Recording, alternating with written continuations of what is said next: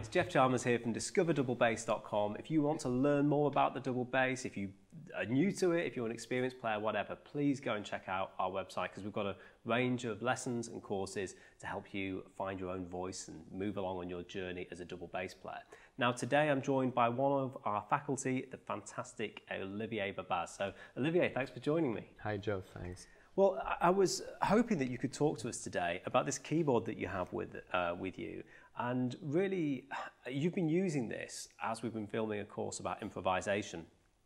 And I love the sound of it. And I love the way that you're playing it at the same time as you're playing the double bass. So maybe you could talk to us about your approach to using the keyboard when you're playing the double bass and how it informs your practice time and your compositions. And yeah, maybe talk a little bit about that. Oh, okay. Uh, well, the keyboard is a kind of an extension of uh, the kalimba playing uh, I've been doing for uh, many years.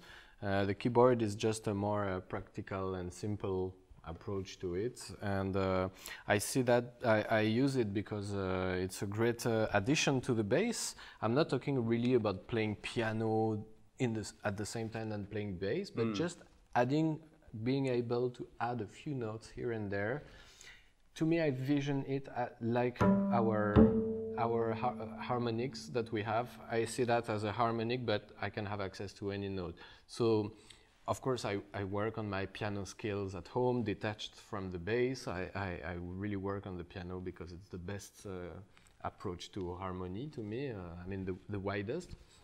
But uh, with the bass, I, I, I, have some very simple exercises which are uh, just the bass being the left hand and the piano being the right hand, just playing simple intervals, uh, harmonic intervals. For instance, uh, uh, if I want to uh, get used to catching my, my major seventh very quickly, I will maybe uh, go up uh, by tone and play every major seventh. So.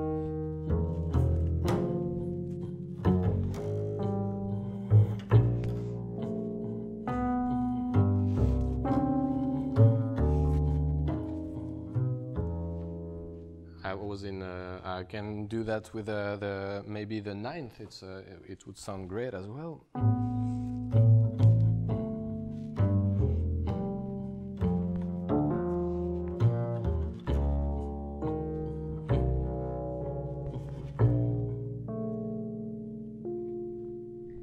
Do you practice with drones? Because it feels like an extension of that. Yes, absolutely. So it's uh, the drone thing is uh, more. Uh, this is more uh, a keyboard focused thing. So when when I'm really thinking about what I'm I'm playing on the keyboard here.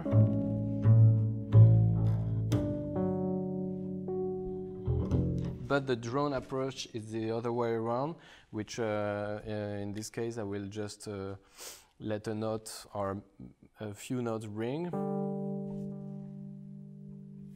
and from there I will practice really my I will really practice my pitch. I don't have my bow here, but it's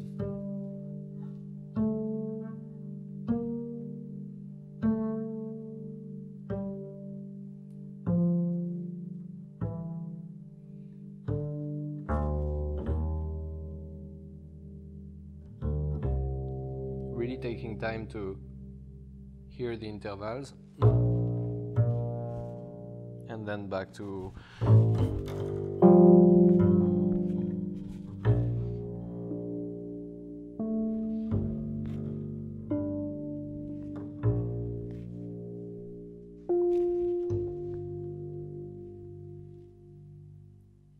well it's a really musical a really enjoyable thing to listen to uh, it's been one of the highlights of the week actually. And I think on that note, what we'll do is we'll finish this video by cutting to a performance of you playing, which we filmed earlier.